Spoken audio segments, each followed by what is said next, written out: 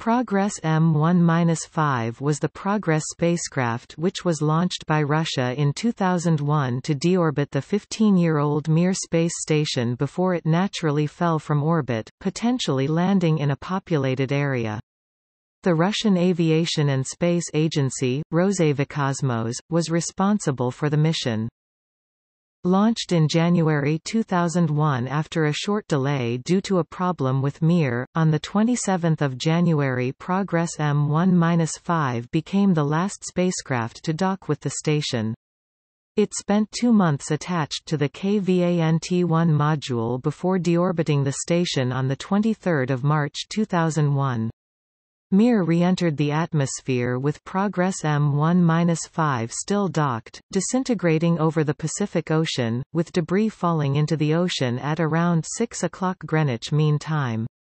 During the early stages of the unmanned Progress M1-5 mission, a manned Soyuz was placed on standby to launch in order to complete the mission if a problem occurred.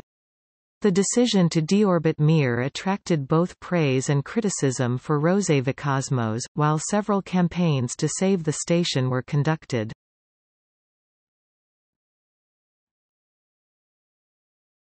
Topic. Background Mir was the seventh and last manned space station to be launched as part of the Soviet space program, and was the first true modular space station to be launched. The first component, the core module, was launched by a Proton-K rocket on 19 February 1986. This had been followed by six more modules, launched between 1987 and 1996, all using Proton-K rockets, except one which was launched aboard Space Shuttle Atlantis.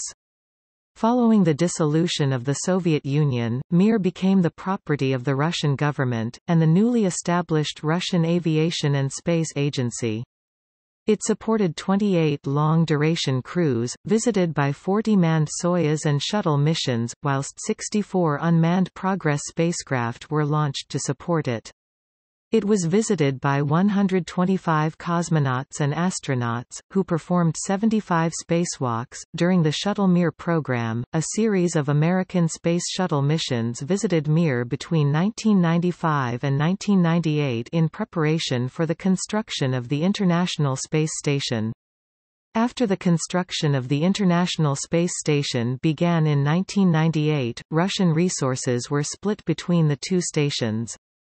In 2000, Rosaviakosmos signed an agreement with MirCorp to lease the station for commercial use, with the Soyuz TM-30 mission, intended to prepare the station for future use and conduct some commercial research, being flown in later that year. This was to have been followed by more missions, including flights with space tourists, however due to the Russian government being concerned about MirCorp's ability to fund these missions, Rosaviakosmos decided against funding the continued operation of Mir. In November 2000, Rosaviakosmos decided to deorbit Mir, and the next month Prime Minister Mikhail Kasyanov signed an order to do so. By this stage Mir was well past the end of its design life, and Rosaviakosmos general director Yuri Koptev believed that any of its systems could well fail at any time.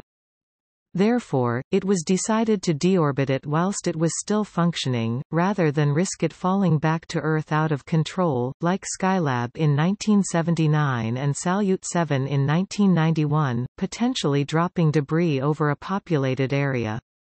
At the time, Mir was the largest spacecraft ever to re-enter the Earth's atmosphere, and there were concerns that sizable pieces of debris, particularly from the docking assemblies, gyrodynes and external structure, could survive re-entry. Progress M1-5, which had originally been built to resupply and refuel either Mir or the International Space Station, was selected to perform the deorbit maneuver.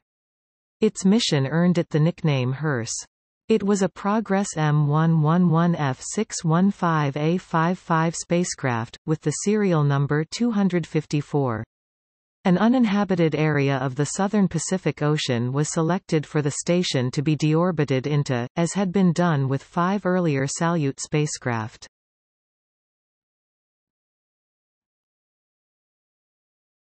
Topic. Launch and docking Progress M1-5 was launched by a Soyuz U carrier rocket from the Baikonur Cosmodrome, Kazakhstan. It was originally scheduled for launch on 16 January 2001, but by the first week of January, it was targeting 18 January. It was rolled out to the launch pad on 16 January, with the rocket departing the MIK assembly facility at Site 2 of the Cosmodrome at 2 o'clock Greenwich Mean Time, and was erected at the launch pad, Site 1/5, within two hours of the start of rollout. Launch was set for 6 hours 56 minutes and 26 seconds Greenwich Mean Time on 18 January. On 18 January, a problem with the computers aboard Mir developed shortly before fueling of the Soyuz U rocket was scheduled to commence, about five and a half hours before the launch was due to occur. The launch attempt was scrubbed, or cancelled, and the launch was expected to be delayed by four or five days. On 19 January, the launch was rescheduled for 24 January, giving controllers time to restart the computer and the station's gyroscopes, which had shut down when the computer failed. Preparations for the launch resumed on the 22nd of January, and the launch occurred successfully at 4 hours 28 minutes and 42 seconds Greenwich Mean Time on the 24 January. Following the launch, Progress M1-5 spent three days in free flight before docking with the rear port of the KVANT-1 module of Mir at 5 hours 33 minutes and 31 seconds Greenwich Mean Time on 27 January. The docking port had previously been occupied by Progress M43, which departed at 5 hours 19 minutes and 49 seconds on 25 January, and subsequently remained in orbit until Progress M1-5 had docked with Mir. Progress M43, which had originally been launched to carry supplies and raise Mir's orbit, in anticipation of manned flights which were never launched, was subsequently deorbited at 2.12 Greenwich Mean Time on 29 January, burning up during re-entry at 2.58. Free flights of Progress spacecraft typically lasted two days from launch to docking with Mir, however Progress M1-5 took three days to reach Mir in order to conserve fuel for the deorbit burn. If it had launched on 18 January it would have spent four days in free flight.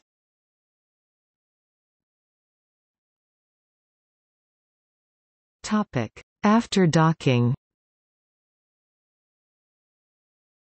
Progress M1-5 spent two months docked to Mir before the deorbit burn occurred.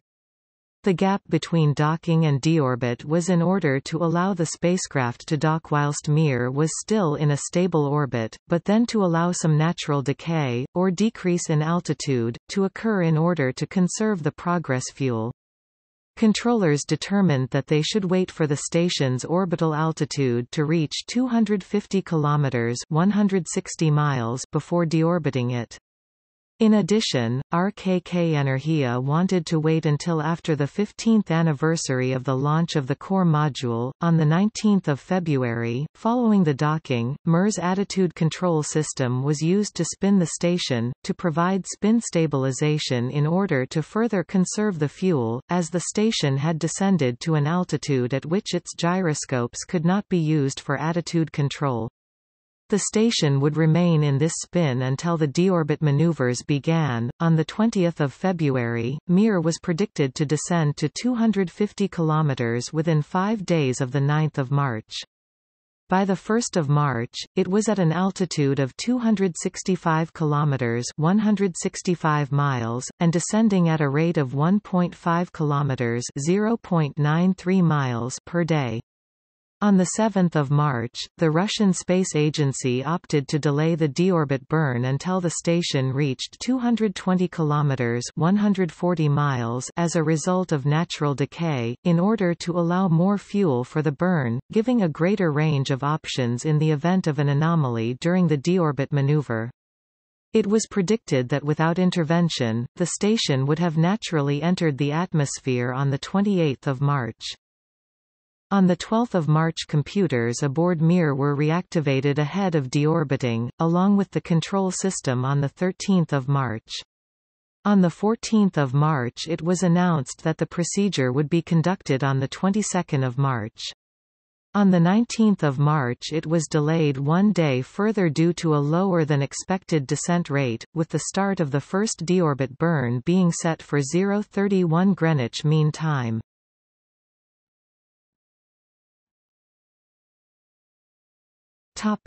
Deorbit Progress M1-5 carried 2678 kilograms, 5904 pounds of fuel with which to perform the maneuvers to deorbit Mir.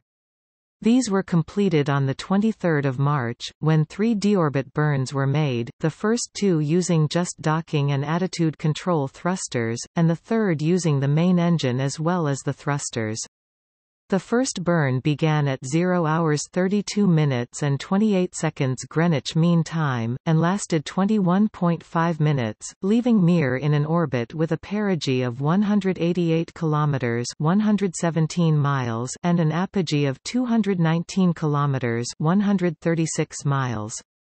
The second burn, which began at 2.24 Greenwich Mean Time and lasted 24 minutes, placed Mir into a 158 km 98 miles by 216 km 134 miles orbit. The final deorbit burn began at 5 hours 7 minutes and 36 seconds. It was scheduled to last 20 minutes, however flight controllers decided to let the Progress burn to depletion to ensure that the station re-entered as expected. The last signals from Mir were received at 5.30 Greenwich Mean Time, as it passed out of range of its ground station. Mir re-entered the atmosphere over the southern Pacific with Progress M1-5 still docked at 5.44 Greenwich Mean Time. It began to disintegrate at 552, beginning with the detachment of solar panels, followed by other peripheral structures. The modules then buckled, before detaching completely. Debris came down in the ocean at around 6 o'clock Greenwich Mean Time. Debris was intended to fall at around 47 degrees south 140 degrees west. An official statement announced that Mir ceased to exist at 5 hours 59 minutes and 24 seconds Greenwich Mean Time. The final tracking of Mir was conducted by a United States Army site on Kwajalein Atoll. The European Space Agency, German Federal Ministry of Defense and U.S. National Aeronautics and Space Administration also assisted with tracking Mir during its final orbit and re-entry. Former cosmonaut Vladimir Solovyov, who had been a member of the first crew to visit Mir, led the mission control team which was on station during the deorbit.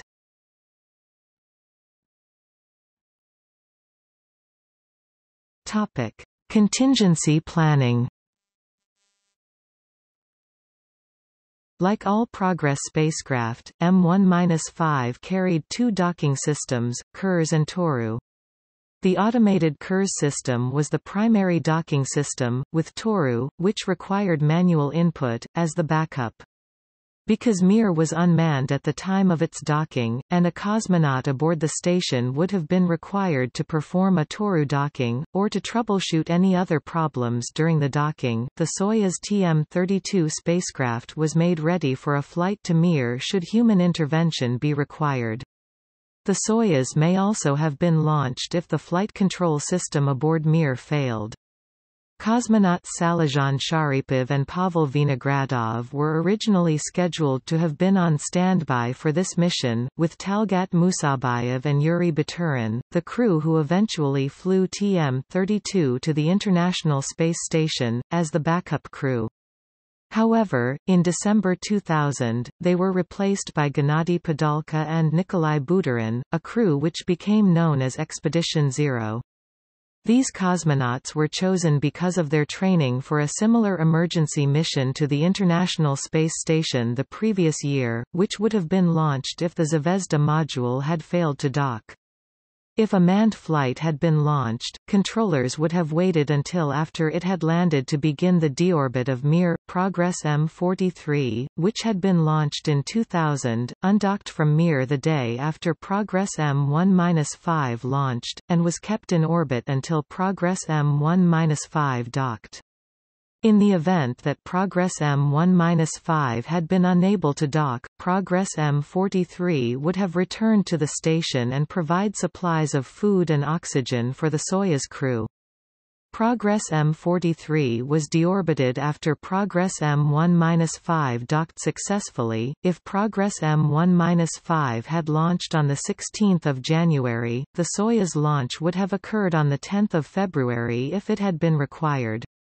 It was stood down around the 22nd of February, after the decaying altitude of Mir made it too dangerous to send a crew to it. If Mir's main computer had failed after Progress M1-5 had docked, then the flight plan would have been modified to use either the station's BUPO rendezvous system, or the Progress for control.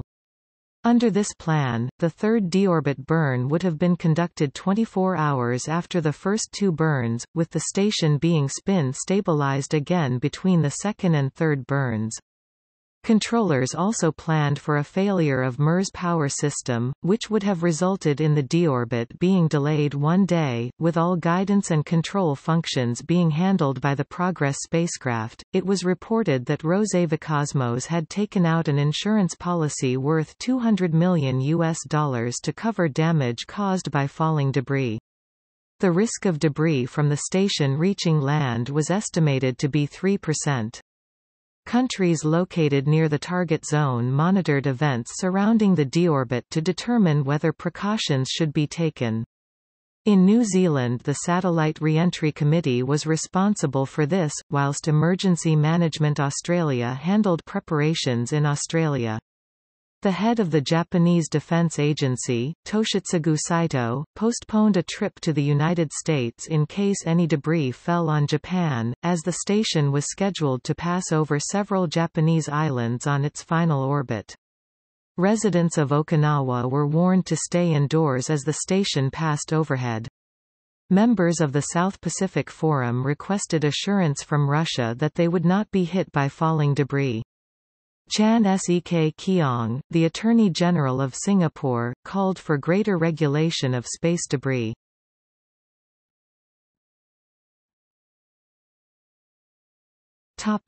Reaction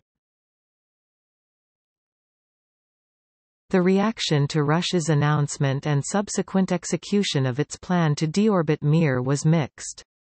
Several cosmonauts expressed regrets at the loss of the station, but support for the decision to end the program. Vladimir Titov described the station as a good ship, but said that he agreed with the decision to prioritize the International Space Station, while Vladimir Dezhurov said that he felt sad about Mir but we have to look into the future. In November 2000, shortly after plans to deorbit Mir were announced, members of the Liberal Democratic Party of Russia passed a resolution in the Duma, the lower house of the Russian parliament, aimed at preventing it. On 8 February 2001, a protest against the deorbiting of the station was held in Moscow, and a petition was subsequently sent to Russian President Vladimir Putin. Gennady Zyuganov, the first secretary of the Communist Party of the Russian Federation, described deorbiting the station to be incorrect and harmful, and the act of a helpless, weak-willed, inefficient and not very responsible government.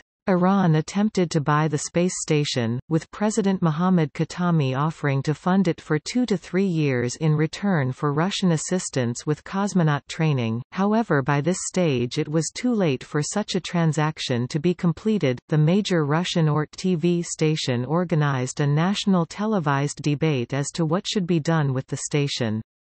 Former cosmonaut Georgy Grechko suggested that it should be kept in orbit long enough to salvage any useful equipment from it, for transfer to the International Space Station or other spacecraft, however Konstantin Feoktistov argued that it would cost more to retrieve the equipment than to replace it. Anatoly Artsebarsky argued that Mir should be kept because he believed that once it had been deorbited, the U.S. would try to marginalize Russian involvement in the ISS.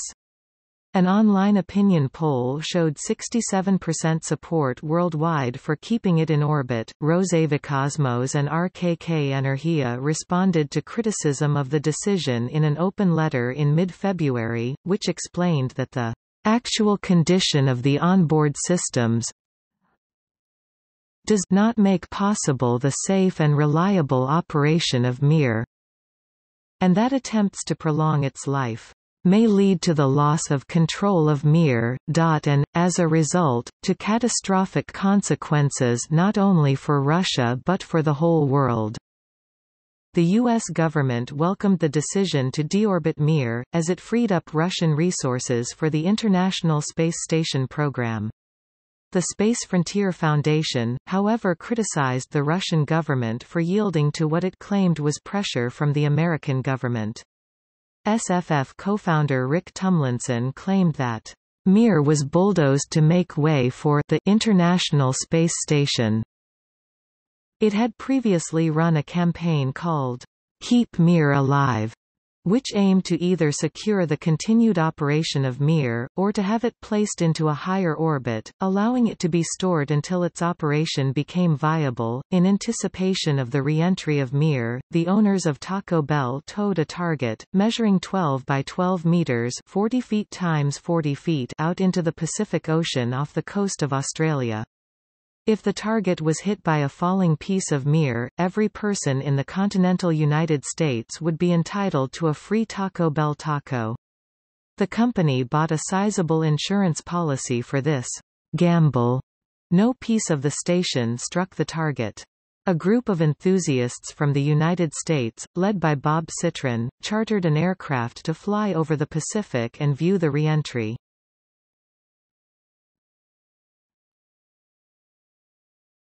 Topic. See also. 2001 in spaceflight. List of Progress missions. List of unmanned spaceflights to Mir